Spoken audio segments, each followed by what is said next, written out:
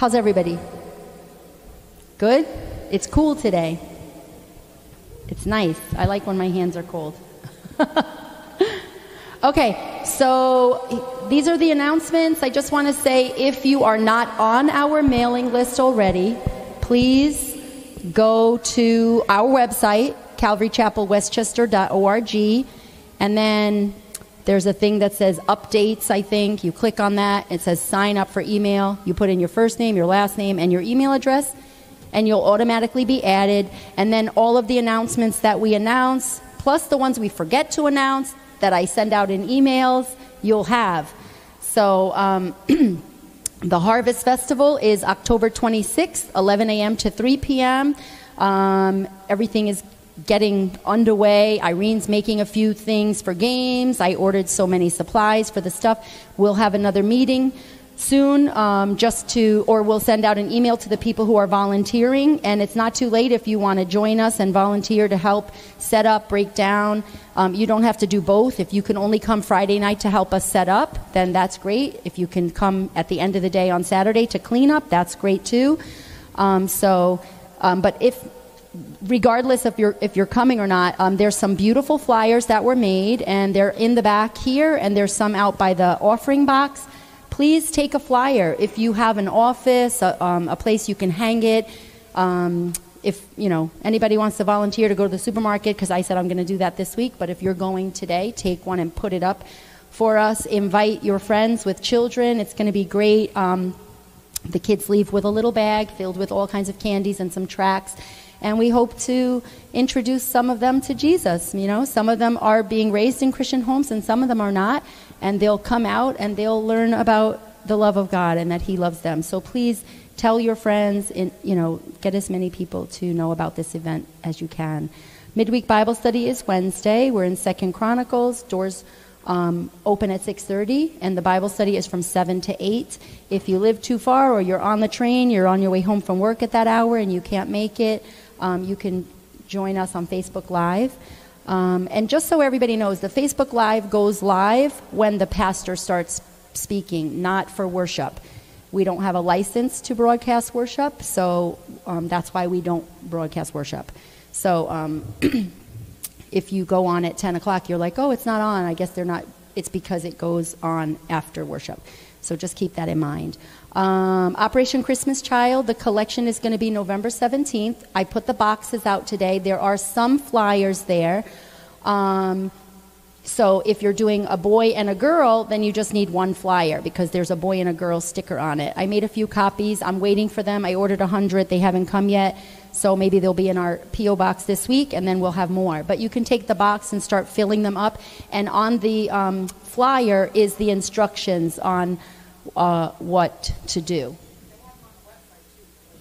Yeah, you can print them on the website, but if you're if you're impatient, print them. If you can be patient, they should be here by next week. Um, so, but what else was I going to tell you? Oh, there's lots of fun stuff on the website. There's a, a way to track your box. So if you want to learn more about Operation Christmas Child, go on um, and read up about it. It's a wonderful organization, um, Samaritan's Purse. They do a lot of different things for crisis, you know, if there's a hurricane or any kind of natural disaster, they're the ones that go in and minister to people and give them the gospel. And this Operation Christmas Child, it's an international program, but it's also domestic. They do give boxes in very poor communities in the United States of America as well. So um, it's just a great way to bring a smile to a kid's face, show the love of Jesus, and um, give hope to a family that's hurting. And I just want to say that many years ago when we first started this, my sister in law wrote a letter with her kids in her box and it was sent out. And months and months and months later, she got a letter back from a little boy in Honduras whose house was destroyed in a mudslide and that was the only thing he owned was what was in that box. So if you're like, "Oh, what's the big deal?" It's a big deal. Make a box if you can. You'll feel good about it and you pray over that box and only God knows what's going to happen with it when it reaches its destination. Uh, nursing home visit is next week. Prayer meeting is this Tuesday. So if anybody's interested in coming out to pray with us, like I said last time, if you don't feel comfortable praying out loud, you can still come and just sit and be in agreement and um, hear the prayers that we offer up for the church. It's a great time. um, to bring your concerns to the Lord, but to pray for your brothers and sisters in this church, other churches, and abroad. So please consider joining us, um, 7 p.m. Uh, the mission trip, obviously, everybody's been hearing a lot about that. It's not too late, but if you plan on going, we recommend you get your tickets ASAP because they get more and more expensive as the time gets closer. So July 5th through July 15th is the trip. And speaking of Cambodia, next Friday, the 18th, is that next Friday? No, not this Friday coming, the, the following, on the 18th, uh, we will be picking Holly up at the airport with Chenda and um. So praise the Lord. Um, so yes, you know, uh, we're excited. They're going to be speaking here on Sunday. Please try to be here that day. Invite your friends. I'm sure people are going to be blessed and to meet this young woman who's been through so much and to see the joy of the Lord on a girl's face who's been through the tragedies that she has experienced, and Narin also, her family, uh, her parents came through the Khmer Rouge, so these are people who grew up very poor and in uh, very difficult situations, and they have the joy of the Lord, and it's amazing. So if you're here and you're like, I know Jesus, but I don't have the joy, you might catch it from them if you come, because they really are amazing. Um, so Knits and Knots is that day, the 18th. Please sign up if you're coming. If nobody signs up today, we're going to cancel because Youth Night has to be canceled because Charlie's picking up Holly. So, um, so there's no Youth Night that night. But Knits and Knots, I'll be here, but only if people are coming. So if anybody wants to come that day, great. If not, we'll see you in December. Um, meal train, everybody knows about that, but there's two, there's three other things I want to tell you about. One is there's a women's conference coming up October 9, um, 19th, yeah, Saturday. Um, it's Calvary Chapel of Grace and Truth in Yonkers. They've invited us. They have um, three speakers. You can find all the information online. It's from 8 to 4. Um, it's $35 a person. You have to register um, to go, and there's a cutoff of 120 people. So I don't know if they're full yet. I guess you'll find out when you go online and try to register. But I would recommend you go. I go every year. Sometimes I speak there, but this year Holly's here and I will not be able to go because we're doing something with the girls that day. But I encourage you ladies to go if you can. And there's a marriage um, conference. It's one day. It's next Saturday from. Uh, 8 a.m. doors open and the conference is from 9 to 4.30 it's $35 a person if you register online $40 at the door however there's 150 people minimum. So if you get there and you're 151, you're not going. So if you really want to go, sign up online so you can guarantee your spot. And uh, the marriage one and the women's one are open to anyone 16 years and older. So if you're a young man, a young woman, you're not married today, but you plan on getting married someday, maybe this will help you decide do you want to be married or not? Because it's work to be married, but it's lovely and beautiful and worth it. So that's that. And one more men's. Um, November 8th and 9th is a men's retreat. It's a weekend retreat, and it's Calvary Chapel, North Jersey. Um, and this is a great retreat. Charlie usually goes to that as well, but we have a function that weekend, so he will not be there. But we recommend that you go. It's a great retreat, and the men who go with Charlie always come back excited about what the Lord spoke to them. So please consider these things. Um, they are not, we're not in charge of them. So if you're interested, there's cards like this in the back. You can go on their website. And the other two events I mentioned, you register online. Um, and that's it. God bless you.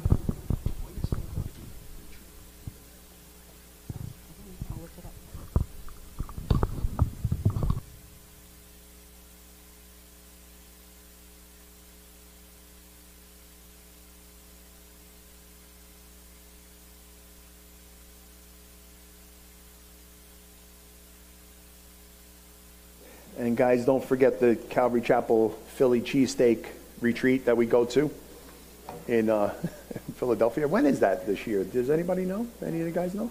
When do we go? What's what's the date, Dan? Right around Thanksgiving. Okay. Yeah, that's good. That's a good one. So I can go to that one. I do things. All right. I'm so excited. Are you excited? Yeah? It's not very encouraging. Oh, man. yeah, I'm excited. I'm excited. I'm excited to see what the Lord's going to do when we take Chenda to uh, New Hampshire and and that whole experience. You know, I'm just so excited. You know, pray pray about that too. I, I was telling the guys yesterday that when we go up there, we're going to meet the um, the senator up there, uh, the the U.S. senator. She, you know, a little meet and greet and probably photo op for her. It's you know, she did a good thing. You know, so so keep that in prayer and. Um, we're also going to be going to a college up there in New Hampshire somewhere. We're going to be speaking about uh, trafficking and the importance of getting involved and, you know, coming against that and, you know, all that. So it's, it's going to be a nice little trip. So should be a, a good time. So keep that in prayer. All right. Uh, should we read the Bible? Always. Amen. Let's turn to Luke chapter 9. And we're going to pick up at uh, verse 6.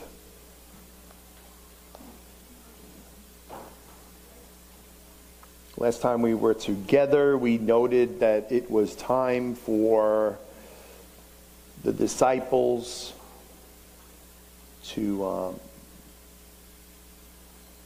take a flight and go out and preach the gospel and take nothing for the journey, and, and they went. And uh, they departed. And it says there at verse 6 that they went through the towns preaching the gospel and healing everywhere. Love that verse. Now, Herod, the tetrarch, the ruler over, uh, you know, the uh, area of Palestine at the time, tetrarch, crazy man. He heard of all that was done by him, that's Jesus.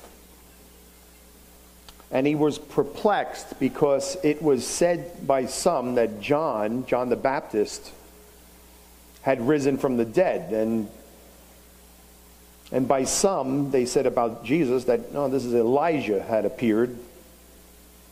And by others, that one of the old prophets has risen again. Herod said, yeah, John I have beheaded. But who is this of whom I hear such things? So he, he sought to see him, Jesus. Well, the apostles, verse 10, when they had returned, they told Jesus all that they had done. And then he took them and went aside privately into a deserted place belonging to the city called Bethsaida. But when the multitudes knew it, they followed him. They followed Jesus. And he received them and spoke to them about the kingdom of God and healed those who had need of healing. When the day began to wear away, the twelve came and said to him, Send the multitude away, that they may go into the surrounding towns and country and lodge and get provisions, for we are in a deserted place. But he said to them, no, I got a better idea. you give them something to eat. And they said, We have no more than five loaves and two fish. They were able to steal it from, the, from a little kid. I'm just kidding, just joking.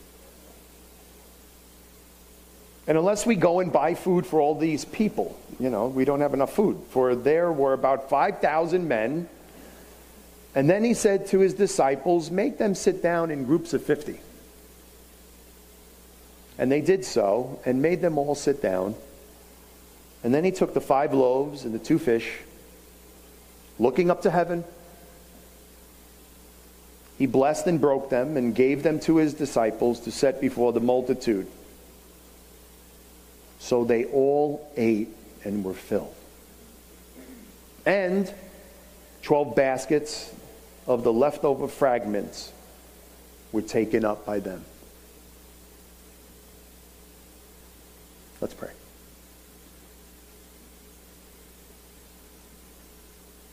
Lord, we thank you for what it is that you did that day. Recorded by all the Gospels. Only story. Recorded by all four Gospels. And no, no doubt, Lord, this is an important story for us. To remember, to receive, and to believe. So I pray, Lord, that you would equip us all with this message. That we would see and believe, Lord, that we, we have the equipment, Lord, we have the resources to touch lives around us. For you are God. And you are mighty, Lord, and you could do great things. So I pray, Lord, pour out your Spirit. Help us to hear what it is that the Spirit is saying to the church today. We know you will, Lord, because we ask that in Jesus' name. Amen. Okay, so they depart according to Jesus. They go into the world. They share the hope of the gospel. And it said there in verse 6 that they were preaching it, the gospel, and they were healing everywhere. Now, before we see what happened on the, when they returned to tell Jesus what happened in the sharing of the gospel, Luke says this about Herod. Now, Herod the Tetrarch, he was a little baffled because people are saying, oh, this is Elijah come back, you know, speaking of Jesus, or this is John the Baptist, he's returned. And, and, you know, I want you to understand that everybody has an opinion of who Jesus is. Everybody does. Who he is. And you could find a multitude of people and you'll find out different opinions of who Jesus Christ is. I mean, I pulled up a, there was a huge list of what people believe, you know, about Jesus Christ. And they're not all right, okay? they're not all right. The, the, you know, you'll go to the Hare Krishna, you know, uh, people who believe in that movement. And they, and they say whether you call God Christ or Krishna, ultimately you're addressing the same supreme personality or Godhead. Is that right? No, I don't think so. I don't think so. They go on to say they, God has millions of names, and because there is no difference between God's name and Himself, each one of these names has the same potency as God. I completely disagree with that. Right? Or John Lennon, right? He said, I believe in God, but not as one thing, not as an old man in the sky, he said. I believe that what people call God is something in all of us. And he says, I believe that what Jesus and Muhammad and Buddha and all the rest said was right. It's just the translations, he says, that have gone wrong. Everybody has an opinion the Dalai Lama. Okay? Christ also lived previous lives, he said. And he said, and he spoke of, you know, Buddhism, that it taught the same religious values as I mentioned earlier. He said he's a, to be patient, tolerant, compassionate, become a better human being. A lot of people think that that's what it's all about. You know, and Jesus just taught us to, you know, just be good people, right? No, no, we need a Savior. We need a Savior. We need somebody to come to earth and save us from our sins. C.S. Lewis, I think he had it right. He said, either this man was and is the Son of God, or else he was a madman or something worse. Right? C.S. Lewis. Everybody has an opinion. Everybody thinks what they think about Jesus Christ. But I'm of the opinion that we are to let Jesus speak for himself, who he was. Right? And then you make that determination who he is. But Herod heard that this man Jesus was doing all these miracles, and he was perplexed because it says there that he um, that that he he beheaded him. It says there in verse nine. He said, "How could this be? I beheaded John." He knows that John is gone. G, uh, uh Herod saw uh, the head of John the Baptist on a platter. He, he knows that John the Baptist was dead. But then he said, But who is this? Verse 9. Very important. Who is this? That's a, that's, that's a question we all, again, we have to answer. I just mentioned a couple people. They all have differences of opinion. But you yourself have to take time, every single person here, every person watching online, if you need to make this decision yourself. You know, it can't be, well, mom told me to believe this and grandma told me, you know, like uh, all these people, they told me what to believe. No, you have to come to this question and answer it for yourself. Let me tell you, many people will attempt, again, to answer that question, but you need to answer that question for yourself. Don't let other people answer the question for you. Everybody was coming to Herod, voicing who this Jesus might be. Herod said, No, who can this be? And I believe when you find that answer, who Jesus is personally, then you could finally be guided in this crazy world. Because Jesus has the answers. For me, Jesus Christ is, as he says in John 14, 6, Jesus said of himself, I am the way. I am the truth and I am the life. And no one comes to the Father. No one goes to heaven except through him. Jesus said that. This isn't, this isn't like, this is what I believe, right? A lot of people go, this is what I believe. I read an article in, you know, Time magazine. And now they have the answer to life. And, and they will, it's amazing. And people will base their life on a, on a Time magazine article. It's crazy. Jesus is the way. The apostles return in verse 10. I love this story. They returned and they told Jesus all that they had done all that they had done. Jesus, it was amazing what we were able to do. Do you hear what I'm trying to say? I don't mean to nitpick, but shouldn't it have been, man, Lord, what God was doing in us and through us, right? Jesus, it was amazing. You told us to go and to share your gospel and the amazing things that you were able to do, Jesus. Because they put their trust and their faith in you, Jesus. No, no, no. It was, look at what we've done. look how wonderful we are. Well, Jesus, you know, tries and gets them to slow down, and that's why he took them aside privately. That's why Jesus took them to another place. Because these guys, they, they started to think, wow, it, it's all about them. So he takes them aside to a deserted place, right? And what happens next is anything but a vacation, okay? This isn't a vacation trip. This is going to end up to be ministry.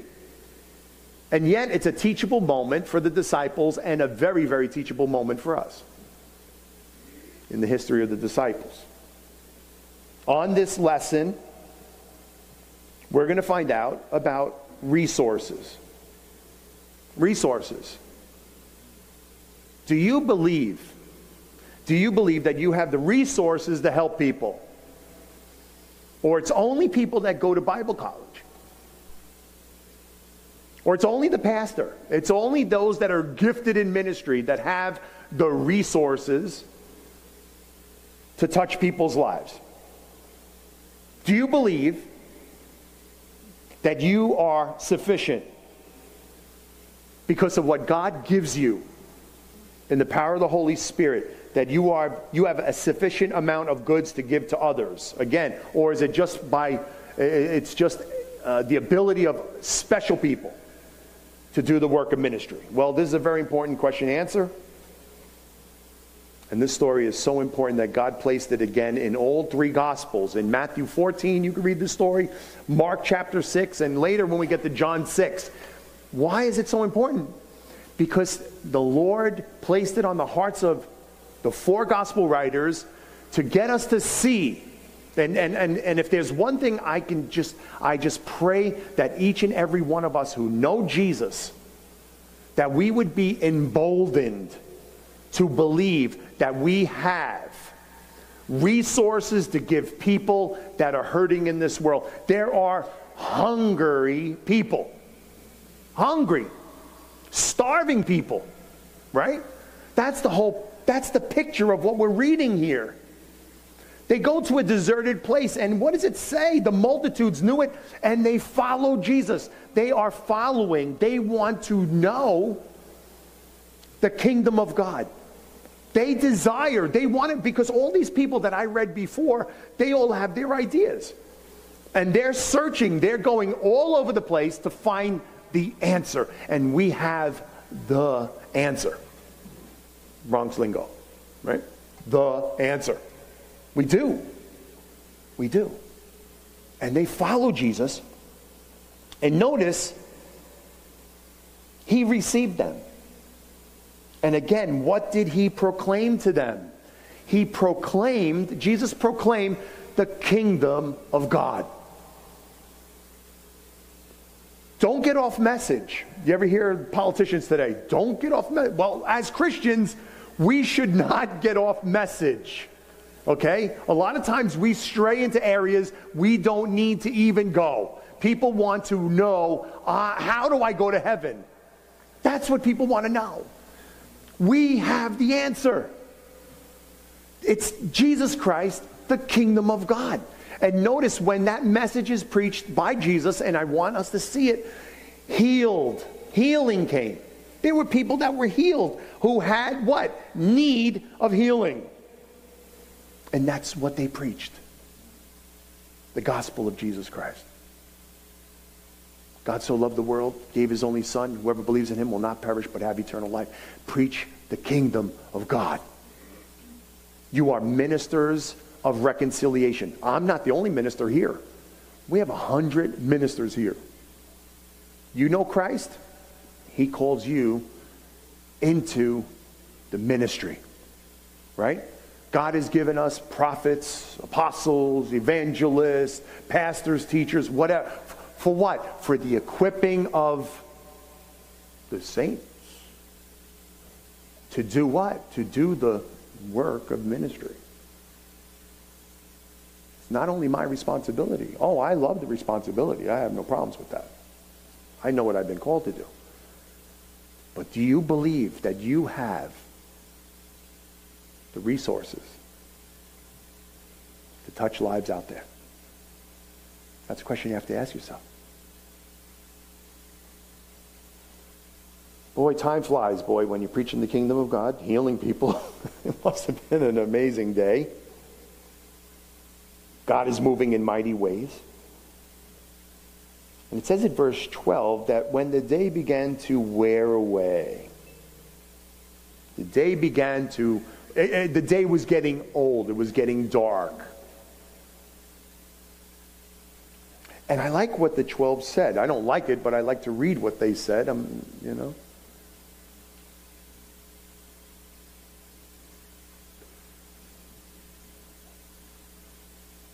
Send them away.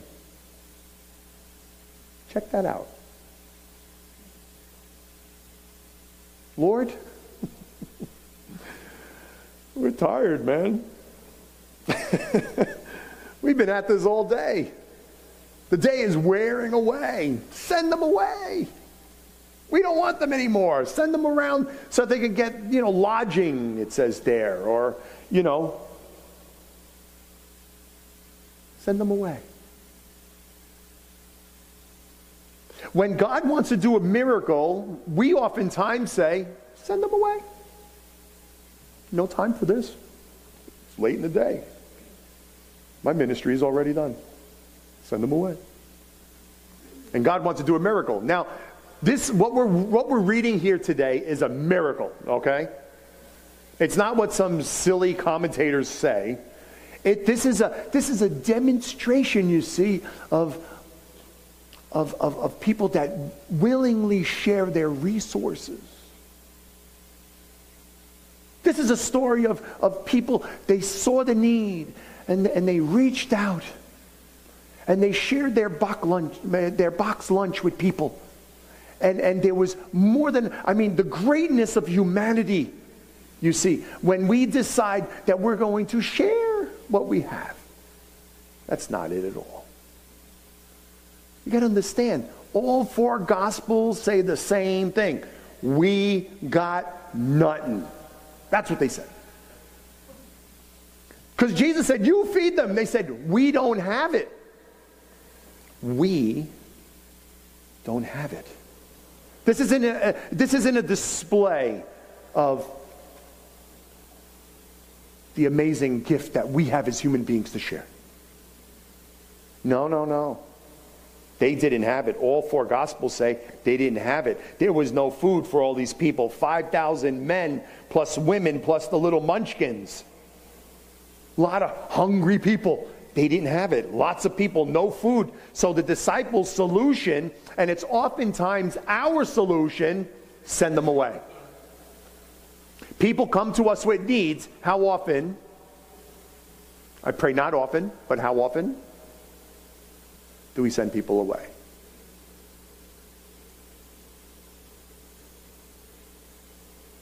Send them away. It's late. Even there, there's all those people there. But Jesus said to them, No, no, no. Verse 13 You. Uh, no, Lord, there's professionals out there. no, Jesus says this to all of us here, and, and I'm sorry if I'm going to ruffle some. You. You. You. You. You. You feed them, Jesus says. You feed them. You give them something to eat. Now, my question is would Jesus ask us to do something that we would not be able to do? Absolutely not. Absolutely not. When Jesus calls us to do something, that's us, that's them, that's all of He will give us what we need to accomplish what He calls us to do. You give them something to eat. All the physical miracles, all the, the healings that happened in the, the life of Christ in His ministry finds a place in our lives for today. Believe that when people come to you with a need, you can meet the need. What am I saying? People come to you with a psychological need, whatever it may be. But what do we do oftentimes? We send them away. Now, sometimes, yes, people need specially trained counselors, but not all the time. you give them something to eat. You give them Jesus. And watch what can happen. Don't always be so quick to say, oh, I know who you need to speak to. You need PC. Right?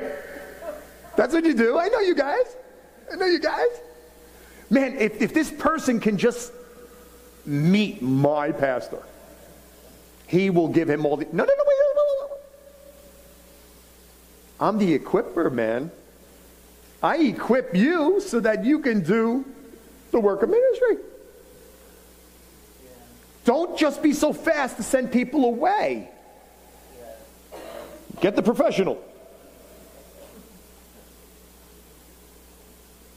some emotional needs somebody comes to you go to this therapist that i talked to oh he this person is great great therapist and don't be so fast because god wants to blow your mind when you start to trust him that he will give you the resources to do something amazing for him he wants to use you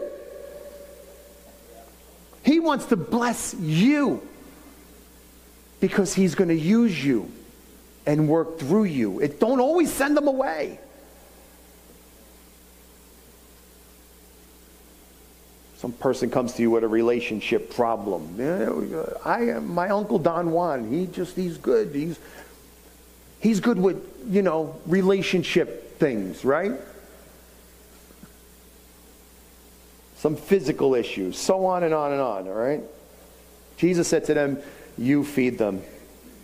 And don't miss that opportunity, friend. You have the resources because Jesus Christ, if you are Christian, he is willing to use you and he is alive in you.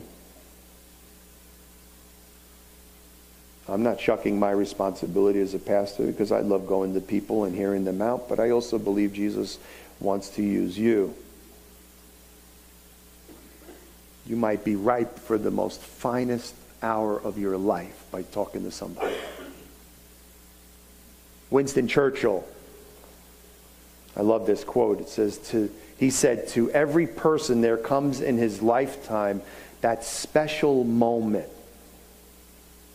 when he is figuratively tapped on the shoulder and offered a chance to do a very special thing, unique to him and fitted to his talents. And he says, What a tragedy if that moment finds him unprepared or unqualified for the work which would be his finest hour. Right? What does the Bible teach us? Be prepared in season and out of season right? To give what? To give them how brilliant you are? No, to give them for the hope that lies in you. Oftentimes, that's all people want. They want to hear what makes you so hopeful to carry on in this life. Give them the gospel. See what God will do. There is a finest hour coming for us. Don't send them away. Share his love. Share the words of life. You got this, guys. You can do this. Right? You can do it. Right? You can do this. Share the good news. Learn to trust what God has given you, not what he hasn't given you. Oftentimes we say, we no, they had something. They had something very small, but they had something. Learn to believe that you have enough, even if it seems so small, because they said, We have no more than, right? We often do that. Who am I, right? Who am I? We have no more. Five loaves, two fish. That's all they said. And unless we go and buy food for them, there's, you know, they could do the math. They can calculate. They understood. But what we add, oftentimes, God wants to multiply. See, we, we're into addition. We, we count, right? We count heads and stuff. But God is into multiplication. That's how God works. He works in a totally different way than me and you can ever imagine. Make them sit down, says Jesus, verse 14. I want you to note the first thing that we have to do is just slow it down. Just slow it down. Yeah, but I didn't go to seminary and I don't I can't speak like you can and I don't have the verses that you have and I don't Slow down. Just sit down. That's that's what the Lord says. Make them sit. Sit with people. But you don't know my troubles. I'm, I'm going crazy. I'm, I'm losing my mind, uh, uh, my relationship.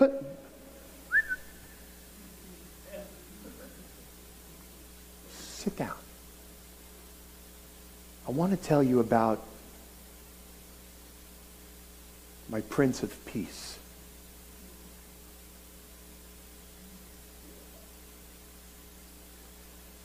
How often that is all people need. He has you. He loves you. He died for you. They're in some kind of a sin. They're in some, they're in some kind of bad situation. He died for you. He'll never leave you nor forsake you. He wants you. That's what people need to hear. Sit them down. Slow them down. Relax. Trust the Lord and give them what you do have, not what you don't have. Give them what you do have. It's a mustard seed, right? Oftentimes, it's all people need is a little mustard seed of faith. Trust God. And you drop that little seed in their heart and you watch what can happen in people's lives. But so oftentimes we I don't have all the resources to fix them. Don't worry about it. Don't worry about it. You're going to, you're going to pray to a God who owns a cattle, the cattle on a thousand hills. You're praying to a God who spoke and the universe flung into existence. That's a pretty big God. Yeah, but I don't have a hundred dollars. Are you kidding? He took what they had, verse 16. Again, I love this story. He, he took the little that they have. He'll take the little that you have. I only know one verse of the Bible. That might be the verse that they need to hear. It was only one little verse that someone spoke to me. It is he who sits above the circle of the earth, Isaiah 40, 22, and my eyes went boom. it was like, wow. I went to Dawn, she was like, that's weird. That's all I needed to hear? A verse from Isaiah chapter 40, verse 22? And that's all I needed for the, the light of God's word to go woof, right through me. Blew me away. Share what you have. Give them what you have, not what you don't have. You know what, buddy? Come back in four years. I'm going to seminary. I'm doing this online course. Give them what you have. Give them what you have. Jesus took what they had, and what did he do? He looked up. He looked up and he blessed it. Acknowledge who has the power, and it's not you. That's the most important thing. Acknowledge who has the power to help people in your lives. Where does that power come from? Look up. Oh, God, help this person. Their relationship, their psychological issues, their problems, they're, they're, they're lacking in resources. They're going to get thrown out of their house. Lord, oh, God. We look up. That's what we do. And he blessed that effort. And he blessed it. God blesses when we slow things down, we trust him, and, and then he breaks it, it says there. He broke it and gave it to them. It's interesting that we're having communion today. And he gave it to the disciples, and they set it before the multitude, and everyone ate and were filled. Everyone ate, even the disciples.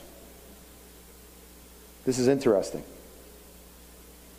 Jesus provided for 5,000 people, and yet he himself, he did not provide for himself. Remember at the temptation, the enemy came, the tempter. He said, Why don't you turn those stones into bread? You're starving over there. Man will not live on bread alone, but by every word of God. It's interesting that Jesus didn't provide for himself when he needed to. When he himself was hungry in the wilderness. At the very start of his ministry, Jesus didn't provide for himself. Jesus could have turned those stones into bread, yet he didn't choose to do so. Spiritual rule when we do choose to provide for ourselves and when not to provide for ourselves, when do we choose to you know, fight for our rights and when we don't fight for our rights, when do we defend ourselves, when we should well it seems whenever it's it's for us personally we need to at least question whether it's from the Lord. We have to at least question it, whether it's from the Lord. But when our provision is outward, to help others, to provide outward and towards other needs, other people's needs, it's probably the right thing to do. It's probably the right thing to do. Now, probably most of us here, we want to be like Jesus, don't we? I mean, that's why you come to church, right? you want to be like Jesus. I know that's on most of your hearts. Oh God, I want to be like you. Please help me to be more like you. Well, one way is to follow the way that he cared for others.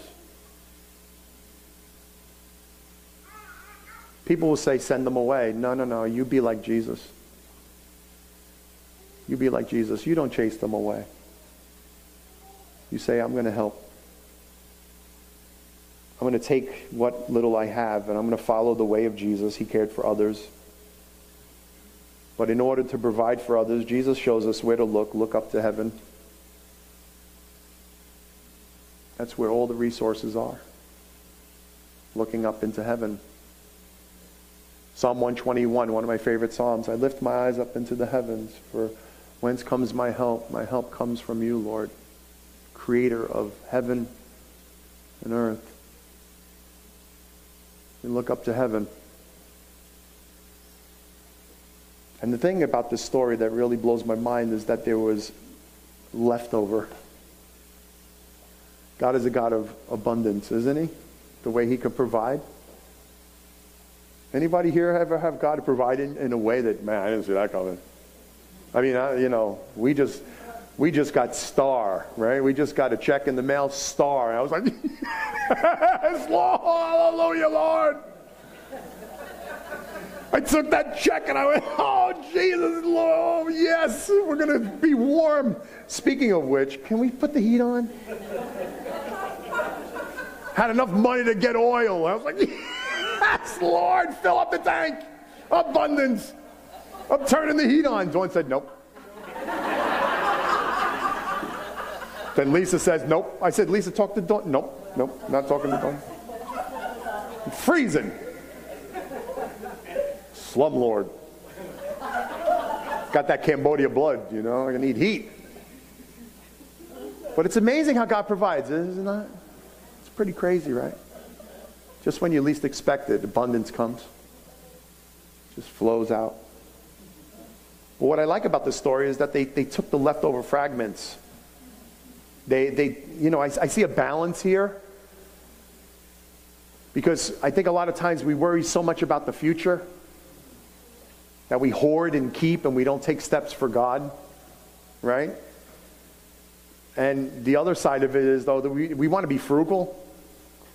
So when He does provide in great abundance, like the nation of Israel, collect double on Saturday, you know? You know? Fragments. Like, be frugal. Like, don't waste it. Don't, don't, don't let it just go to the side, right? You know? I see a balance here. Pick up the fragments. You see, we could trust God for the future, and we don't need to live so timidly that we never take steps of faith. God will provide, but also don't waste the provision when He provides. And don't, don't speak fear into your kids' lives either know, worry about tomorrow. Don't, you know, balance there, right? Teach your kids to trust God with the future, but also when God provides, teach them about being frugal and not wasting, but to live that balanced life. Pick up those fragments. Don't be wasteful.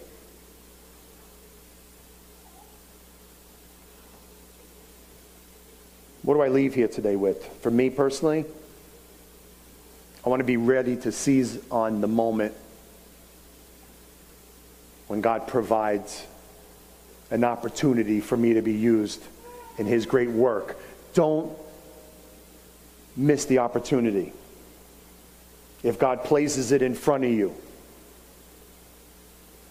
don't look at the situation and go, it's overwhelming, send them away.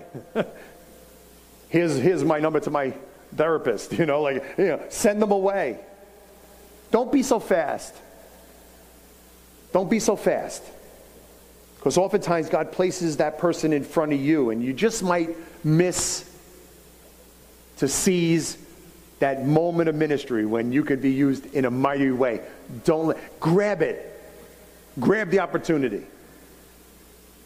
Sometimes even the first bull that passes you by. Remember the story I told about the guy he loved he loved the farmer's daughter, right? And he wanted the farmer's daughter. And the farmer's, the, the father said, okay, go stand out in the field. I'm going to send three bulls your way. And if you could grab the, the, the, the, tail of one of those bulls, man, you know, you can have my wife. And the guy was like, I'm doing it. My daughter, I'm sorry. Thank you, honey. So here's the guy out, right? Here's the guy in the field. What did I just say? What did I say? Oh, the, the, giving the wife away. No, no, no, no.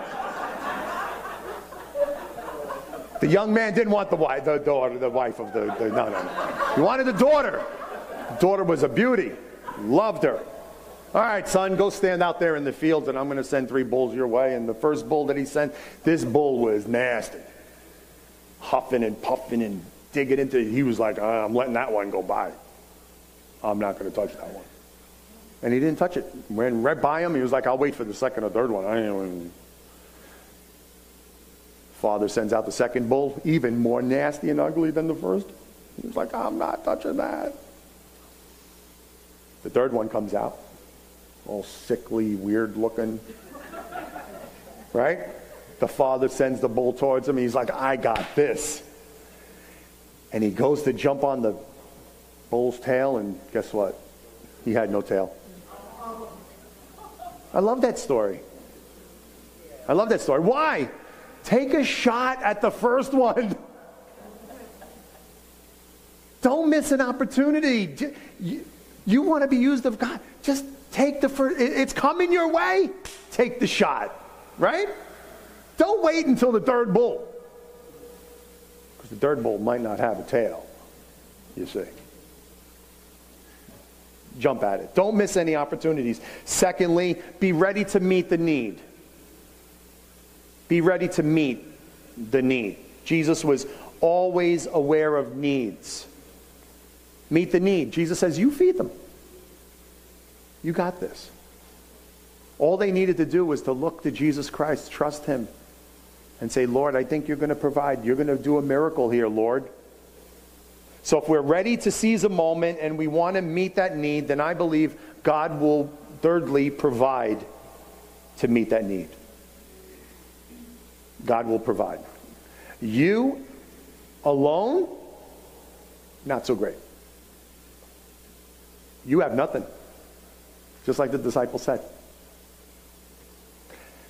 God has everything.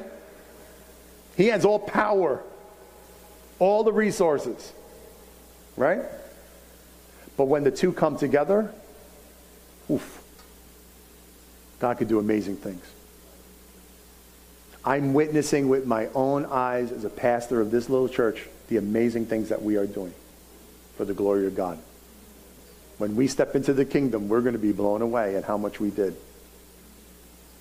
But we need to do together with God. Augustine, I love this quote. He says on the mission of the, the work of the church, when he says, by himself, God won't. By himself, God won't. By ourselves, we can't. But together with God, we can. I love that. So, friend, God wants to use you in amazing ways. I pray that this would be an encouraging message for all of us that God wants to use us in amazing ways. You receive that. You, you feed them. You feed them. And I expect to see miracles happening. Because God is that good. Lord, we, we thank you for this day, this message, Lord. And again, it's a vital message, Lord, because it's found in all four Gospels, and we don't want to lose that, Lord. You keep giving us this story over and over again. And I pray, Lord, that we would believe that you are that good, Lord. That you wish to use us, Lord, in ways that we could never believe. And we want to be like you, Jesus. We want to, we want to be used in your kingdom the way you did things, Lord. You were so outward and looking, Lord, for those opportunities. People came to you, Jesus, and, and you healed them. And we believe that you are the same yesterday, today, and forever, Lord, that when people come to us, we can, we can give them you. and to believe that you can work, Lord. And friend, maybe you're here this morning and you never heard the gospel before.